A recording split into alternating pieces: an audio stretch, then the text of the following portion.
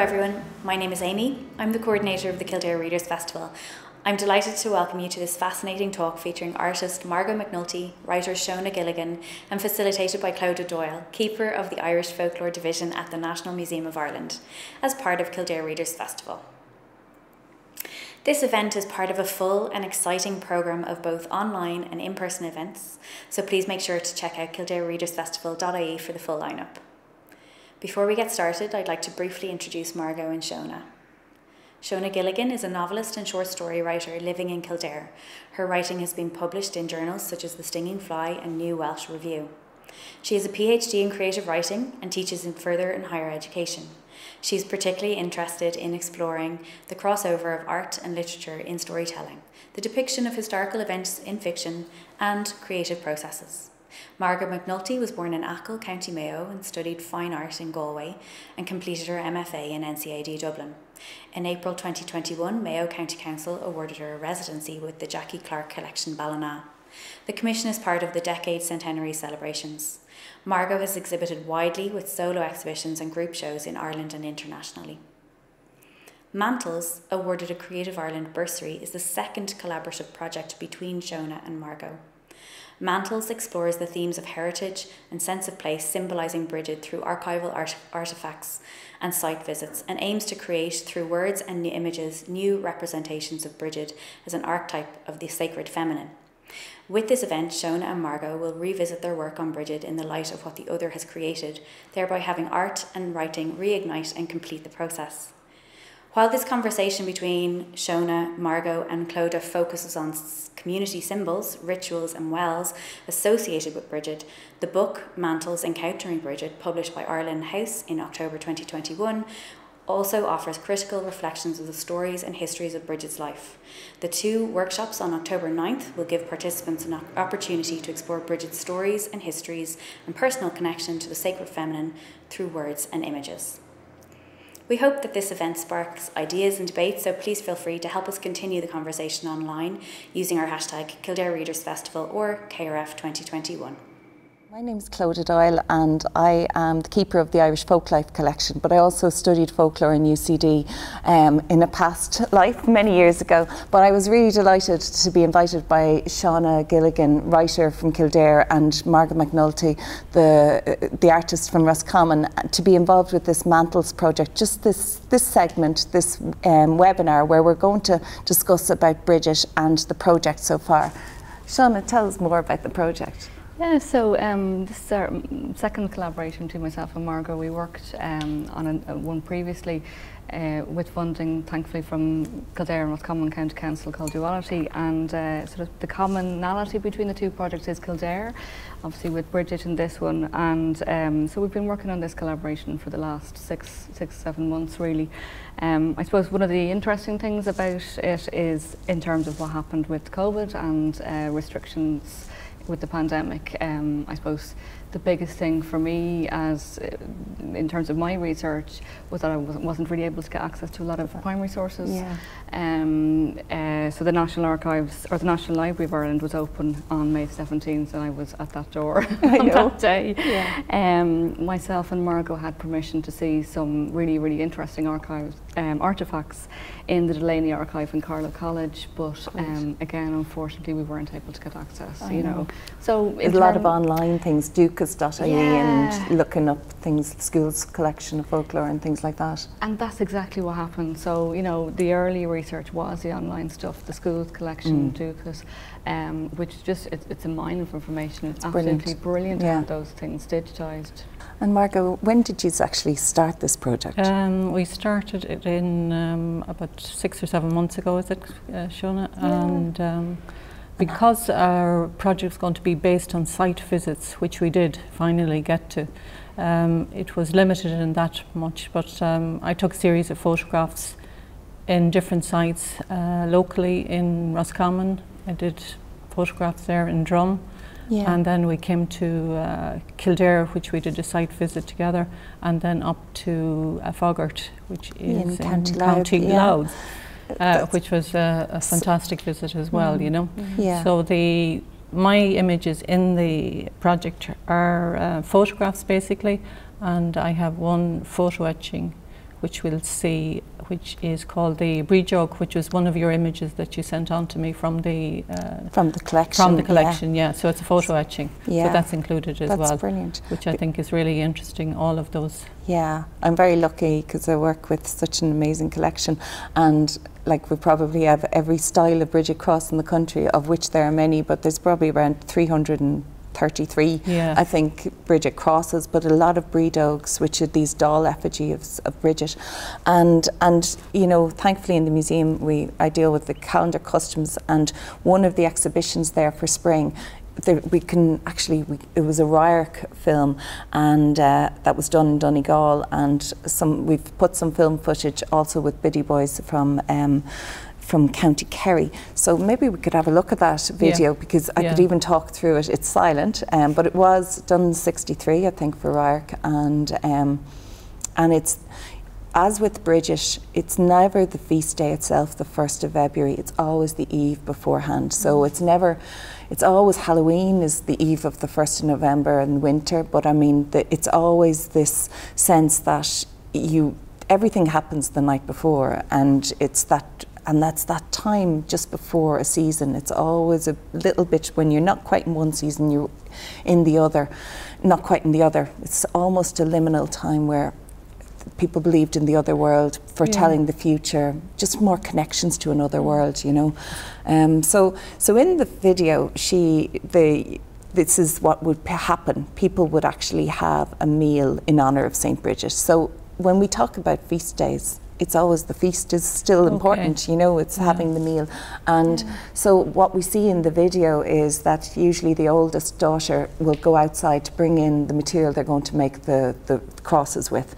And they can be rushes or reeds. And in this case, um, they've the they've the rushes brought in and and then the the oldest daughter probably knocking the door three times and she says are you welcome she says a prayer and asks are they welcomed are they ready to welcome Bridget into the home and, and then they all get down on their knees and pray and say yes. And then the father will use a holy water sprinkler and sprinkle the and bless the, the material they're going to make the crosses with. And later on, then people will have a meal. And in this case, they're having a meal of potatoes, which is one of the most important crops and one of the ones that you want Bridget to protect. And so much so that a lot of our artifacts incorporate the potato into them. And so in this, they're having a meal of potatoes and I think one of the men there, you can see he's been away, he's got a lot of tattoos, yeah, and yeah, yeah right, he's been working probably in, in Glasgow and shipbuilding. But uh, brilliant. Yeah, and then yeah. of course the and the way the young daughter, she just and she's she's living in Belfast actually. I looked her up, but um, she um, she just lifts effortlessly lifts the pot off of potatoes off the thing, and you know, I for me in the museum to lift those iron pots empty, really it's hard to believe. But anyway, so and they all take a pounder and they pound the potatoes.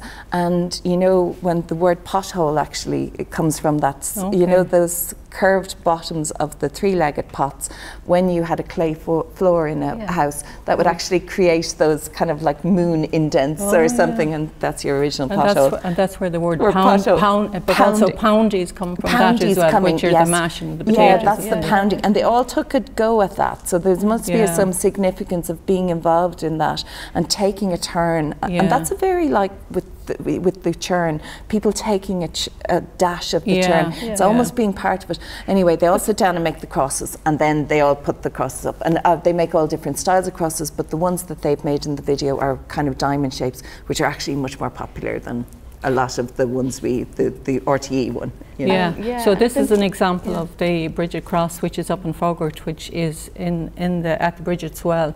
And then we have uh, some slides of the crosses that are in the museum, yeah. which are these ones here, Clodagh. There's the one on the, uh, the, one the singular one, yeah. is it? Looks really interesting. It's, I suppose when we think of Bridget, we often think of fertility. A lot of diamond-shaped crosses, and you can see uh, that with the collection, but the blue background, a lot of diamond-shaped crosses.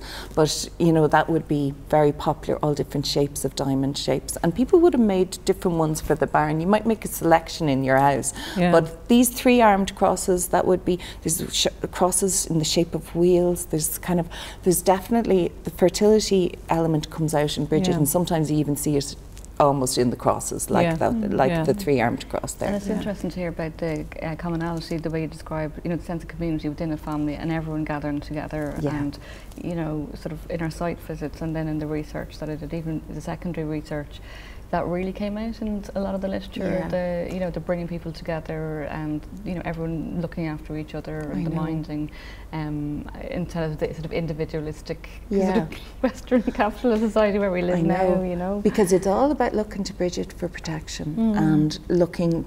It's it's Thanksgiving because you're glad you have all your butter and your potatoes and you can have this feast to her. But the thing is, it's also that you are really you haven't even sowed your potato crop and you're already hoping and that she'll protect it. And then you're hoping for protection that everyone will be feeling well. So all of the other objects are about protecting the family and their health and it's and I suppose that's happening throughout the community. Um, but certainly Bridget is one of those ones that's happening in the family home, a bit like Halloween. Mm. You know, it's that sense of togetherness and family at Yeah. the time. Yeah, it reminds it reminds me of, of Halloween a lot. You know, Yeah, I bring yeah. that up in one of the essays I, I talk about. No. Okay. Um, That's beautiful. The thi- relic. this is the um, the relic that um, Shauna took photographs of it. Do you want to talk a little bit about yeah, that? so um, because of the various restrictions on getting access to, to the primary research and artefacts, um, you know, I started using secondary sources a lot, um, and there was a reference to a relic of St Bridget's mantle in Ireland. Uh, in several of the texts, but not all of the texts, and it was one of those things that kept jumping out at me, and I was thinking, you know, is it real? Does it really exist? You know, and um, so some of some of the the texts would say it was a monastery in Dublin, other Mm. texts specified what monastery it was. So I actually just emailed the monastery. Um, it was the Redemptorist nuns in Drumcondra, and I got a reply really quickly from um, the prioress, Sister Gabriel Fox, who invited me in to see it. wow. So it was one of those things that you know you follow a thread when you research, you're not sure it lead anywhere, and you know it really, literally was was gold. It's amazing. Um, it was quite an amazing trip. How Um, big is that piece? It's very very small. Small. Uh, probably looks bigger on the on the on the on the screen there. It's probably Is it that size. Yeah. yeah is it kind of an inch or so or less? Uh, my judgment on size isn't great, but uh, I mean the, the the the the casing is about about that so you know. Oh, so it yeah, so it's a small- around an inch. Yeah, yeah, yeah, yeah. yeah. So um, and she was saying actually that I said, haven't do many people come in to see it? And she said it used to be in a local church, and um, they they keep it for, they keep it for safekeeping in the in the monastery, and um, said people used to come and, and see it, and Yeah. you know said it, it is a very powerful, powerful, powerful relic. So it's a mantle. It's the, when we talk of Bridget, and your title of your project is mantles. So mantle is cloak, and in Ireland we have the mantle maker or the cloak maker for women, and associated with wearing a cloak for for maybe getting married. But the mantle of Saint Bridget is coming back to that story that you had researched, the the classic one, you know, Yeah, in Kildare, yeah. how she got the land. the cloak and the nuns, Yeah, you know, each the magic of cloak, you know, yeah. yeah, yeah. Every- The, the Brídógs are co- connected with uh, brides as well, aren't they? Yes, Which I they didn't realise. I thought they were. Uh, I thought it was a, an image of Bridget actually. Yeah, But it's and it is. It's a doll effigy of Bridget, but I, Bridget is the bride in that case. So she Okay. and Brídóg. Nowadays, if you're getting married, and in Irish, the Brídóg is the bride. You know, that's Okay. the, the bride and groom. The br- Brídóg is the word for bride. But but when you think of a lot of our um, doll effigies of Bridget, she's wearing the white veil, not a veil of like you know a nun or something. Yeah, it's yeah. definitely she's the bride bride of Christ, I suppose. But the kind of um, yeah. So I, I suppose, and she's wearing something over her head, and mantles. No matter what, whether they're the cloak or anything to go around you, often it's that hood. Yeah. Do you remember that lovely Yeah. Scottish widows ad? That's Th- right, That's yeah. the type of cloaks we had. hooded, You know, yeah. I mean that, and we still have a load of those in the Irish Folklife collection in the museum. So these beautiful cloaks with amazing hoods on them, and um, and and mantles are usually lots and lots of fabric in them, so that you can't. Um, it's almost a luxury item because you've so many tiny pleats and stuff here. It's ma- it means that you can have like Bridget's cloak. It's like it's it's it? expanse Yeah. of material, and you ha- can afford to have all these creases and pleats, and it's like how can you afford to waste such an amount of material. So it's it's a real status symbol, Yeah. but that's classic in folk life. I was going to talk about the tradition of carrying the Brídógs around to the houses. What was the Yeah. significance of that then? Well, I suppose, um, you know, at every time of the year, there's like people going from house to house, and they're bringing, essentially, they're bringing whatever that time it is. In in terms of um, the times of the year when people went would be the Wren Boys in the west of Ireland. Then you'd have the Biddy Boys, and and then you'd have Halloween and guising and going from house to house. And generally, it's an excuse to get. Um, drink for a party you know and Okay. it's usually Collect the money. it used to be a way of just And getting the- collecting the- but it was usually men and adults and uh, Oh, boys at certain times of the year and certainly around Halloween Okay. but then it falls to the children but Bridget and St Bid- the Biddy boys very strong as just a male Okay, men oh, It's certainly in Kerry no. but very much on the west coast of Ireland mainly children children Okay. bringing from house to house and amazingly we have a wonderful photograph in the museum from Spittle of children outside the door with a white Brídóg. And the Brídóg is a doll, usually around yeah, usually around two feet long. Um, so and generally dressed in white. And in fact, they, they'd say a, a verse at the time: "This is Bridget dressed in white. Give her a penny for this dark night. She is deaf. She is dumb. For God's sake, give her some." so, but you get whatever you got, and um, so they'd And it- collect something. It sort of echoes Halloween again, doesn't Yes, it? it's you like know? any chance you go Yeah, around. Yeah. Sure, there was yeah, a, another yeah. time, any Hanseling, like going from house to house to get a, a few coins or coppers. So, but the, it seems to be taken much more seriously in terms of a male kind of tradition down in Kerry, Yeah. and tho- those huge processions that we saw on the video Yeah. that Yeah, would have been with video the dolls, there. and, and they're all vying for the best breed, though, you know, Yeah. and we've massive And ones. they're huge, aren't they? Huge. It's interesting in terms of the colour then, that was one of the things that surprised me about that mantle because I'd done so much reading around Oh, the yeah. white and, you know, the nuns and white and everything. So when I saw it and there was this like deep red, Red. it was quite, quite impactful, Yeah, you know. and actually, you know, So- the, the mantle is in Bruges, isn't it? It is the, whole yeah, mantle the, is in Bruges, the and mantle. the other image that you see um, on the screen there is that sort of authenticity, the sort The of seal. the, little seal, the archival number, and then the you know, Bruges, Yeah. um, to sort of verify its. it came from a came piece from, that there, mantle, yeah. You know. Because that mantle in Bruges, I'd always wanted to see it. But what it's made of is that red flannel, but it's also it's been napped, which means Mm. that they've used carders to.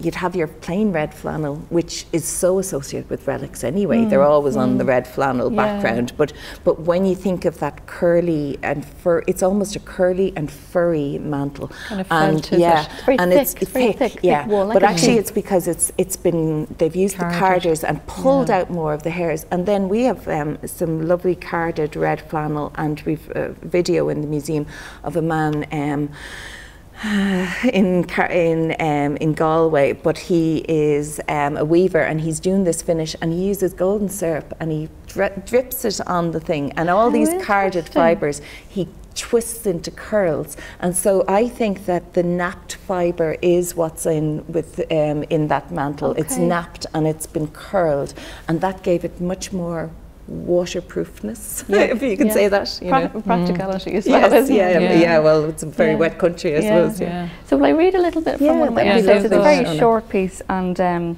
uh, so I have it in the book that's coming out with Ireland, Arlen House um, in October uh, called Mantles as part of this project, and um, I have a triad of essays.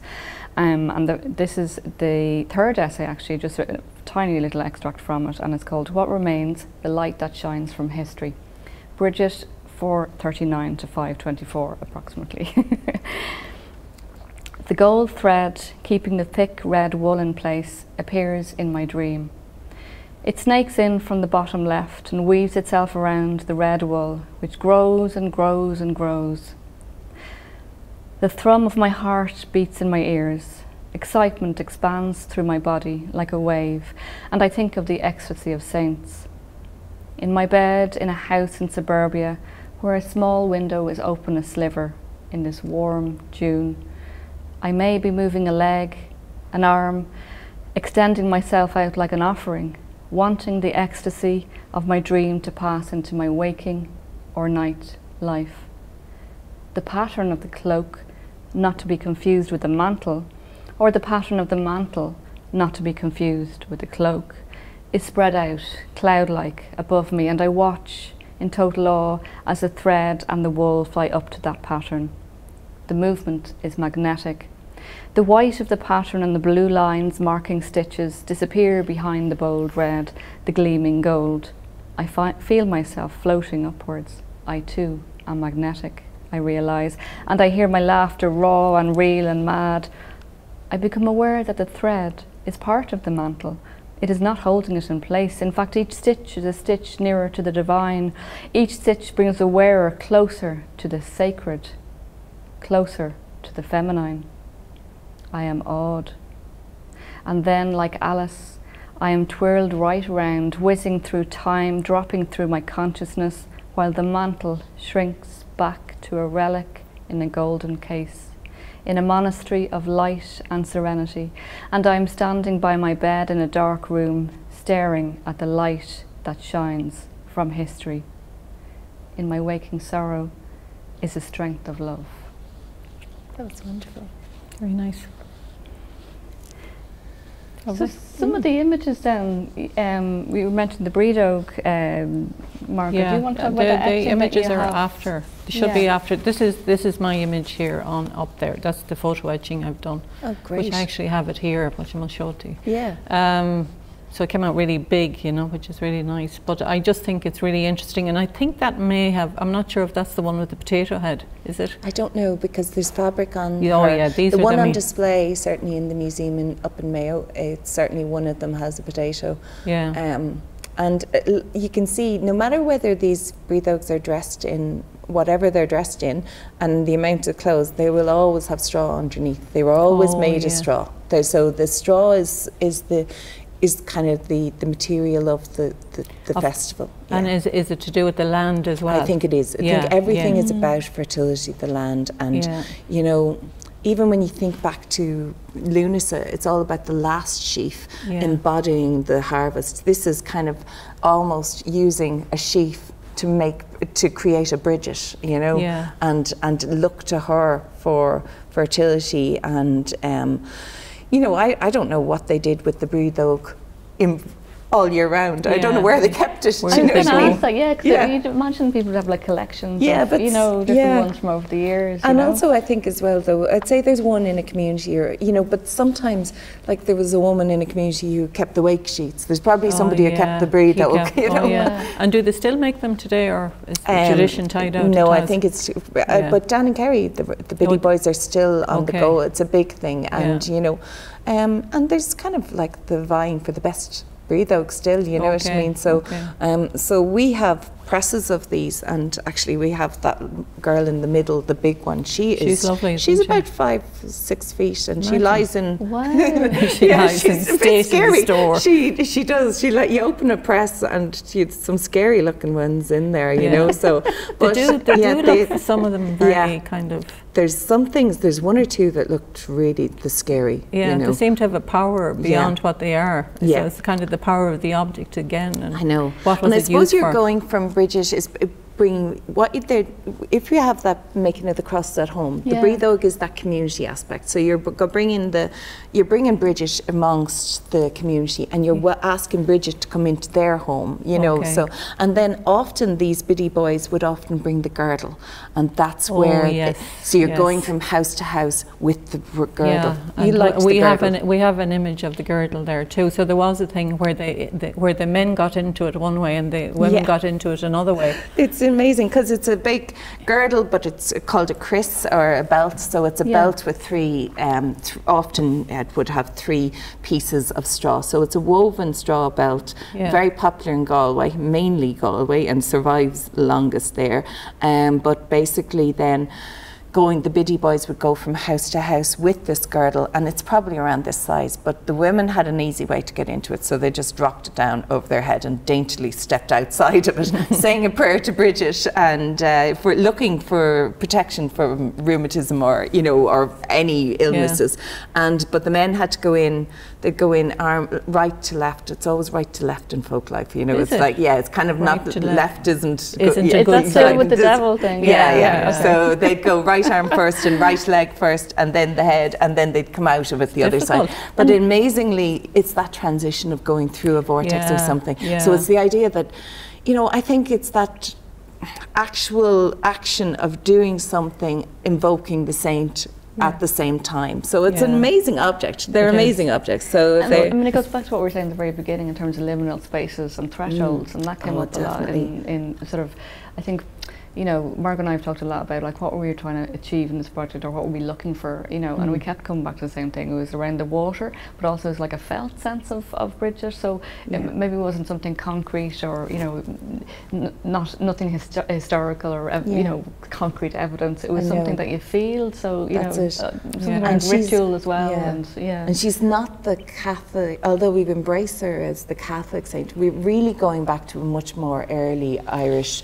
traditional religion, yeah, yeah. you know, and that Bridget's Wells and going on, Yeah. the idea of going on pilgrimage, all these earlier manifestations of, Mm. of connections to the land really and Yeah. and okay the catholic church has always made sure that they put a feast day exactly where we were feasting anyway and this was the end of winter and the start of spring so let's place bridget there and she was already uh, coming from a pagan So- goddess So it's the times of transition. yeah. Um, I have photographs too of uh, of the holy wells, but also the rag tree where Yeah. people left stuff behind.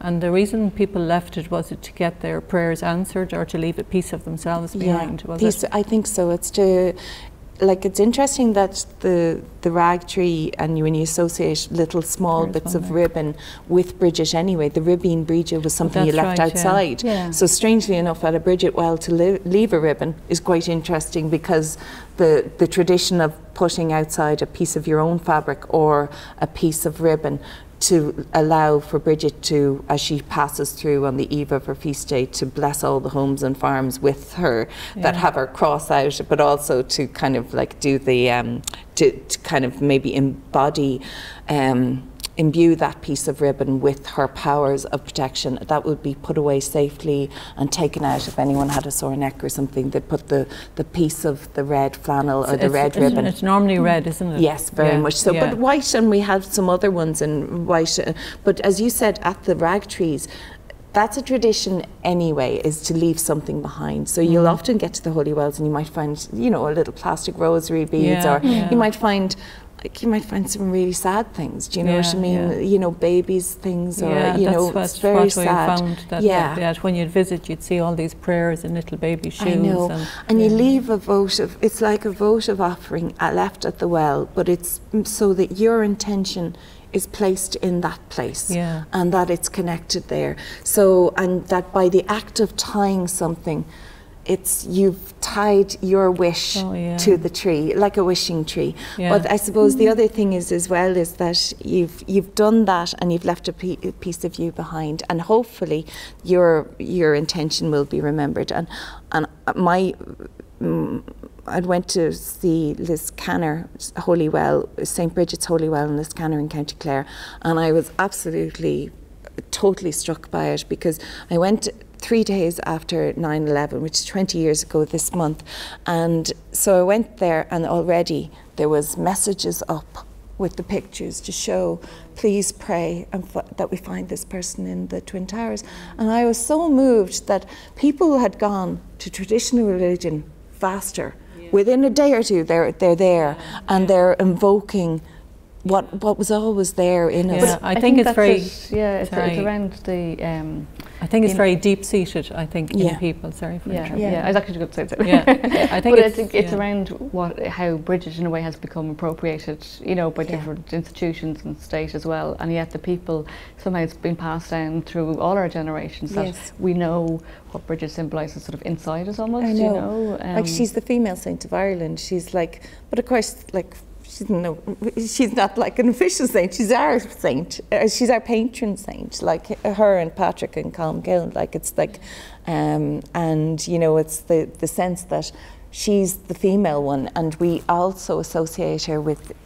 The Virgin Mary as That's well. right, yeah. So I think you had some pictures like Yeah, that, yeah, yeah, from the yeah. wells, wasn't it? Yeah, from the wells, and that there was a in Kildare they have a Virgin Mary, but she's masquerading as Bridget. But um, I don't have an image up, but Yeah. I do have an image. But it's interesting that it, it is the female basically, Mm. and it's where the power is, you know. Definitely, and Yeah. that idea of a, her, the Virgin Mary's blue mantle, you know, Yes. and and strangely enough, our hooded cloaks in the, the museum, a lot of them are come survived. The surviving ones, they even got one in last year um, from Drimoleague in County Cork, and it was, um, but they're generally black because yeah. the older people were wearing them kind of Victorian respectability around the 1900s or early 1900s. But Lucas has done a lot of work on the the hooded cloak in Ireland, these beautiful cloaks, and blue was really popular. Yeah, blue and red, and, yeah. and you know, I think I think some were made for the Queen of England. I think there was a blue. I'd say. And do you think there's a colour associated with Bridget then? I, I don't know. I think that they've been. I think that they've often at Wells they've done blue or green on yeah, her. You yeah, know, it's like yeah. to give her that identity. But of course, um, she she's wearing. She has the the, the blue on her and. Um, yeah, but I think that she's also known as Mary of the Gaels. She is, so yeah. she's kind of yeah, so you get her connected with An Bheadh So she's uh, she's connected with the Our Lady, but um, yeah, I think that's kind of helps to bring Our Lady to us, to teach us about Our Lady yeah, was almost to use Bridget. Exactly, because yeah. you think about where Bridget was herself, she was sort of in a transition period historically, mm. you know, between move, Ireland moving from a pagan country to a Christianized country, and sort of so she almost was crossing that threshold yeah. in her life, you know. That's it. Um, and I think the evoking of the goddess of fertility, the fertility goddess of Bridget that existed across Europe, and then that sense of a saint then taking the same name but also the attributes of fertility and of the land and of the human and even Imbolg the, the word for the older word for this feast time, yeah. day like we'd have Lughnasa, Samhain and Bulg um, that could be about the the bulg being their stomach and it's almost that ripening of of, of birth starting in nature. So that death that has been after Samhain and winter, all these buds on the trees, all the, the, the buds and life and new life. So she is associated with this time of that transition on the land as well. And so her idea of being a fertility goddess pretty amazing. Like she, she yeah, is associated with yeah, fertility, and even yeah. even giving a present to uh, newlyweds of a Bridget cross would be quite traditional. In fact, I have one for my own wedding, so and it was a Newbridge silver one. Oh, I have a oh, Newbridge silver. silver it's in my bathroom actually, and I realise now. But we were given that when we were um, got married, and um, and you know with that sense that you know, wishing them well and fertility wise, yeah, you know what I mean? Yeah, um, so, yeah. and I think she is associated with you know cures for barrenness. Yeah. yeah. And you know, I I haven't been, but is it Randal MacDonnell? It's a, in 1600s. There's a in um, Brideswell in Roscommon. There's oh, yeah, a famous which is near one. me. yes, course. near you, and near Albert Siggins, my old colleague. Yeah, that's yeah. right. Yeah, so he had taken wonderful photographs for the museum in the. Okay. But basically, it's a lovely well where he has, where in the 1600s it was renowned anyway as being the waters were good for infertile women and okay. um, for for pregnancy. And I think this man puts a plaque up and invests in doing the well because he brought his wife t- to okay. the waters and she she was cured. Yeah. So that's why that it's in the 1600s. Line Randal MacDonnell. I should have looked that up, but anyway, yeah. that's a lovely. That's a, yeah. certainly where even that fertility is in the water, it's yeah. at the well, and you know yeah. that's amazing. It's yeah. kind of get that connection, you know. Yeah, because I've taken a series of photographs that are the Holy Wells, which would be the local one, which was the drum one, but I haven't taken photographs of the other ones. Uh, yeah, yeah, yeah. But I, I think that the, the whole thing of the water and the different wells associated with, with different, different, cures, yeah, and even eye cures as well. Yes. Do you know what I mean? And when you think of the story of her eye, you probably came up with this one where she's like yeah. the suitor and you she know. plucks out her eye. Um, she plucks out her eye. It's all um, said so easily. Yeah, I know. Yeah, yeah, yeah. yeah. But, a part of that, like for me, you know, reading those sort of stories was it shows her, her character um, in terms of you know not being controlled, mm. and you know, she, again, it, there's all these different parts in her life where where the the stories differ and they're told with different sort of shades depending on who's telling them, and you know. Um, the bits of her travelling through Ireland, the bit with the eye coming out. So you know this oh, yeah. to make her less attractive. To make her less attractive, attractive. and now I that really took me around the idea of beauty and covering and revealing and everything. Um, and I suppose that was for me where I sort of started the the research, you know, journey um, around clothes and girdle and you know the history of the girdle. I sort of went down all sorts of rabbit holes. Um, but I suppose I ended up looking up, um, or, or rather immersing myself in, in the rule book of the Brigidine Order. Yeah. Um, which is absolutely fascinating because a lot of the, the, the, items of clothing they mentioned, I didn't know what they were or what they were used mm. for. You know, some of them you would, and some of them are associated with Bridget, um, and then some of them are around fertility, but then are, are not about fertility, they're about chastity. So it's all the changing yeah. of the symbols that I found yeah. quite interesting, mm. you know. Um. Uh, yeah. There, in Faughart too, the uh, well up there had an eye stone as well, which is wow. one of my images That's as well. Right. Yeah, amazing. Yeah, and and a lot of the stones there had to do with the body as mm. well. There was different ones. There was ones where you could kneel, and there was a waist one as well. But I thought the eye one, which is one of the images I have there it's as brilliant. well. That's amazing. Yeah, yeah. Because I think it's just when when Holywell's become known for certain things yeah. and on certain days like so yeah. the St Bridget's Day would be the day to visit the well as yeah. well or the eve before a lot of these times it's the eve before but it's like that it's almost like okay the, the well has a cure but it's even more potent, potent and powerful, powerful around these times so again it's all around so time. your stones are oh, up there now yeah that there. one there that's in Blacklion in Cavan it's St Bridget's um, uh, the stones, um, I can't I can't remember what that's called, but it's in Blacklion Cavan where you, it's St Bridget's stones where you almost these stones the fit into these stones, curves. Yeah, uh, yeah, it's almost like cursing. You could twist them and say a prayer or not and curse somebody. You as well. reverse it. Yeah, yeah, yeah. power yeah, of it. Yeah, yeah, yeah. So, and, and is it easy to find? Do I me asking? I don't know in Blacklion. Yeah. I have never found it, but okay. I did go to Blacklion. I didn't look for it actually, but I did go to Blacklion because there was a there was a Patrick's Well that had a right. cure for eyes as okay, well. And I remember I was doing work on Patrick, but yeah. I forgot to visit this. Yeah. But I did go up at the same time because I was doing Patrick research and I went to Pettigo and um, Lough Derg and you know and that's yeah. where there was the St Bridget's chair just right. which is oh, kind yeah. of just yeah. on the edge of the lake yeah. so she's there even though it's his place and it's St Patrick's Purgatory and it's one of these ancient pilgrimage across Europe even and she but she's there and actually on the I didn't go over to the island but she in the chapel on the mainland um, there was a lovely Bridget cross made out of copper in the lovely. yeah oh yeah that was one of the but her relics are all over Europe as well I mean parts like when you see that little relics, we've it's just like seemed to be a big market in Saints yeah. bits, you yeah. know. And there still is, there yeah. still is. That was another rabbit hole I went down. yeah, looking at relics online. I know, um, and like I think part of her skull is meant to be in Lisbon. Yes, yes, and and a piece of that was brought back to a, a church in Killester or something. That's right. Yeah, yeah, yeah, yeah which right? I didn't get to visit. Actually, that was one of the ones. That's I mean, that's the other thing with the whole the year that we're doing it in. Like, yeah, you know, the so original plan. We'd wanted to go all around all the bridges wells, but we didn't get to them all. But we will. It'll be part two. There's a wonderful historian, Patrick Logan. He had wrote the Holy Wells of Ireland, and then he writes the cures, and he's all about that. But he's dead now. Fantastic work. But every holy well in the country, pretty much, and what they were famous yeah. for, or the ones that even disappeared. You know, yeah. he has them all. I've I've read a lot of it. I read that one of his books anyway in, in, the National Yeah. yeah, yeah, a lot in it. You know. So um, this is a, the the one of the photographs that the last one there is the photograph at the St Bridget's in Faughart again.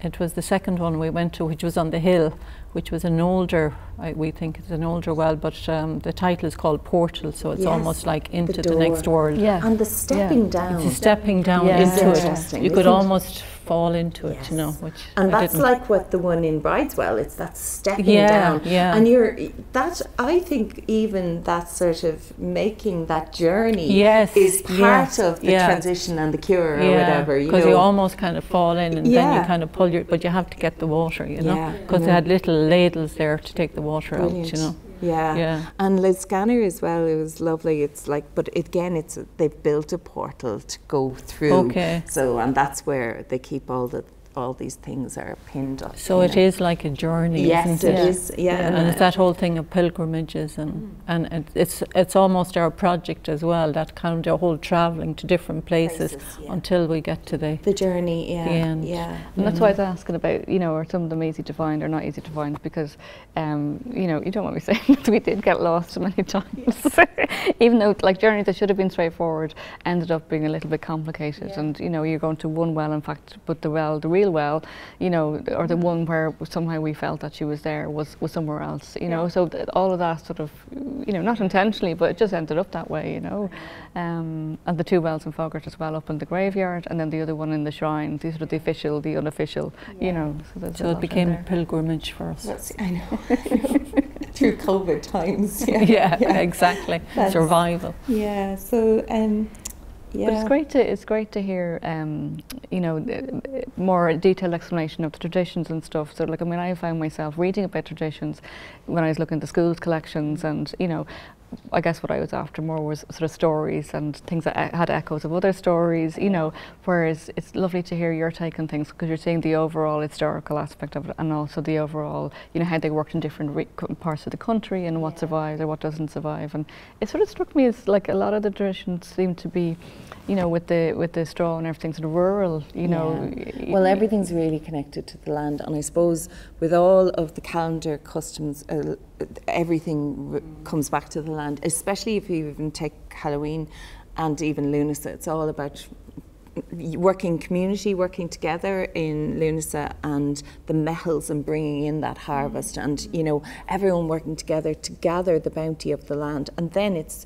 it's by the time Halloween comes, it's that you've got all of your fruit harvests in, you've pickled everything, you've no fridges, so you've you certainly it's you've reaped everything that the earth has to give, and then it's downtime, you know, and it's there's nothing growing, and then it's that new birth again with Bridget, and then butter is the big thing, and you know around May time as well as the real sense of the land again, and making sure that, and same in the west of Ireland, we would have a bonfire night, um, which would be the eve of the St. John the Baptist. Oh, St. John's. Yeah, St. Yeah, John's Eve. Yeah, but the thing is, that's 23rd of June, so his feast day is 24th. But but that, when I grew up in Dublin, and we had just Halloween bonfires, I'd never heard of St. John's Eve. And now, sure, it's all over the west and where I live now. But um, And it's also practiced in sort of the Celtic areas across Europe, and the north mm. of Spain is practiced yes, as well. exactly. It's, a big, it's a big one, yeah yeah, nearly like, bigger than Halloween actually. That's yeah. it. Did you? Did we cover a lot of the things there? yeah, I think I think we've I covered covered think, a huge yeah. amount of yeah. what has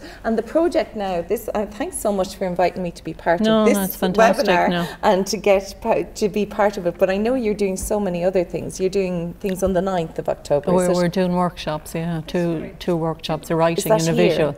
Uh, it'll be online, so um, okay. we're not quite sure where it's going to be based yet, but. Um, be online, so the workshops will be writing and visual, which yeah. will be that great, you know, based around the same yeah. subject Theme. really, and you know. Yeah. The book. So one is the Sacred Feminine and one is on place, you know, yeah. and then with the book, that's right. Yeah, yeah the, so the book has been published in October, Arlen House. Yeah, so, great. Yeah. So, so I might read a little, just we were saying, just to end it, yeah. yeah. The, yeah. this just an extract um, about our part of our trip to Kildare, because we are in Kildare. um, are you from very close to here?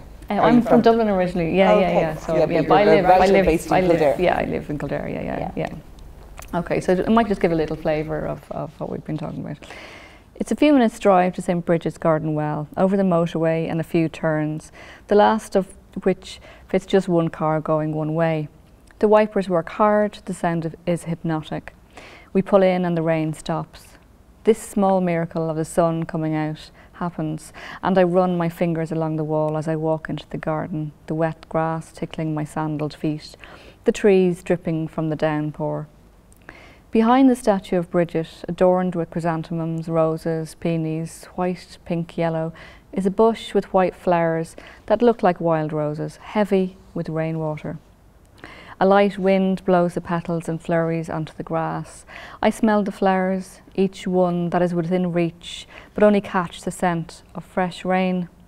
I'm disappointed, little flat, and I'm trying too hard. I can see that now. But when I look through the stone arches where the soft snort of a cow catches me, my heart quickens. Tall meadow grass sways. Three small dark birds fly high in the middle distance, and wagtails be parade behind the black cow with the yellow tags on her ears. She locks eyes with me and twists her head at an awkward angle to lick herself. At the flick of her tail, flies rise upwards. She turns back to survey her field. I am in the heart of summer. I touch a petal that immediately falls and then turn away and walk slowly towards the well.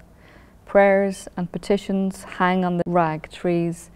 I stand still, survey them, feel the rise of tears. There are so many hopes, so much of life here.